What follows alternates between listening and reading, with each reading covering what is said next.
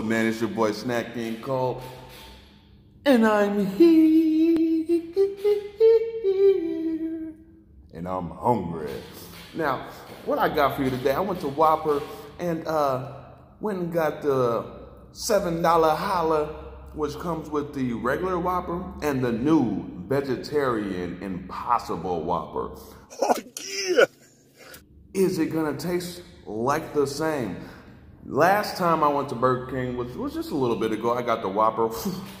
I couldn't even finish my fries. So we're gonna cut this bad boy in half so we can get a little bit of both and uh, see if Kevin Garnett was lying when he said, Anything's possible. Anything's possible. I'm gonna go ahead and cut open the Impossible Whopper. Let's see what's going on inside this thing real quick. All right. Now I have been seeing the, oh my God.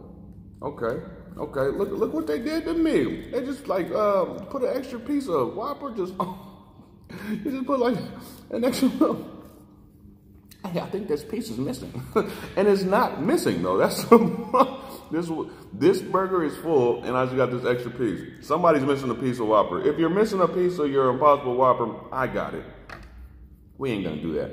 Uh, but you know, just like everything else, man, you got your lettuce, you got your tomato, you got your mayo, you got your onions, onions all over the place. Now my Burger King was busy, so busy to the point I said, hey, I want the $7 holla they didn't even need my code. She was like, six, three, four, five. I said, dang, girl, how many times you put that in? That's what she, a lot of places are like that. Uh, so we're gonna cut this bad boy open. Now it is looking a little lackluster. Look at that side, you can't even, oh, you can't even see it. But look at that side, you can't even see no meat over there. That's probably where this piece is coming from. But that side right there, you got your tomato slipping out. Get your back in there, get, get it back. Mm. You got some ketchup and all that. So we're gonna go ahead and, all right, so we're gonna dive into this thing. You see it's looking yummy. See it's looking yummy.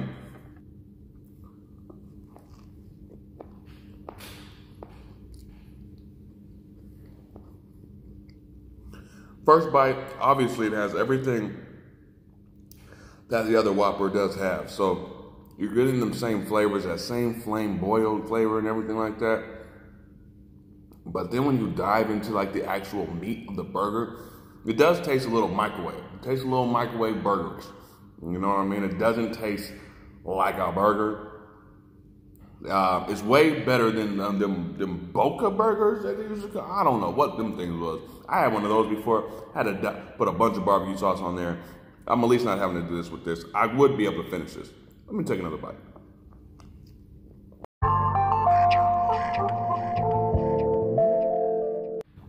Yeah, if somebody got me this burger, I probably wouldn't be able to tell the difference. This this tastes just like a Whopper.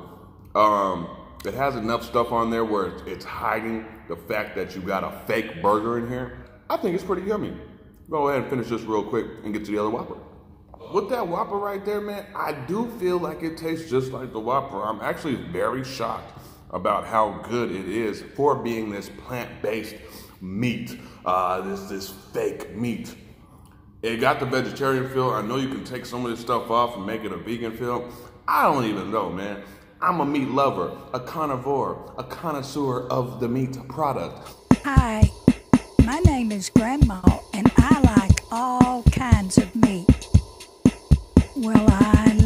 chicken. Chicken is finger licking. I like ham.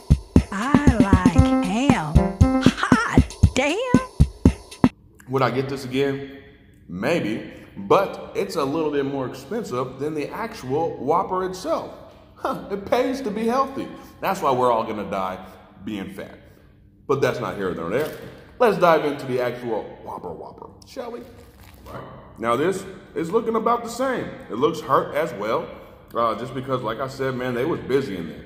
You know what I mean? I wouldn't be surprised if they did some things where they just took each other and put them in different bags and was like, have fun guessing which one you did. Let's uh, cut into this. You can already feel from the cut, from the cut, like I gotta cut, cut this. Yeah, you can already tell that it looks a little different inside. As far as the meat, it looks real. Let's go ahead and dive into it.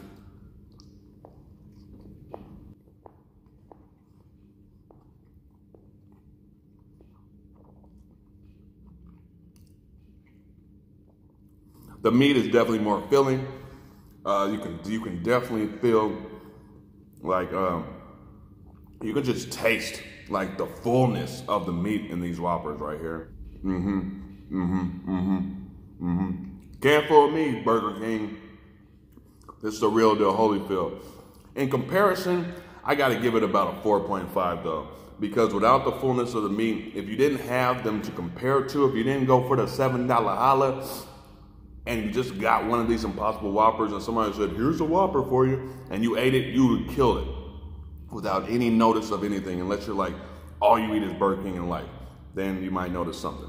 You know what I mean? There ain't no way my wife's gonna walk around the house and cut her hair, and I didn't know she cut her hair. You know what I mean? But you guys might notice she didn't cut her hair because you guys don't see her every day. Um, as far as taste and everything like that goes, man, I'm going with a five. You guys have the same taste. You captured the same taste, the same bun. I mean, you put everything on this same burger. But as far as the burger itself, it gives you that flame broiled taste without giving you that.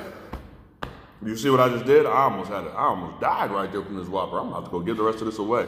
It's your boy Snack King Cole. It's caught in the crossfire.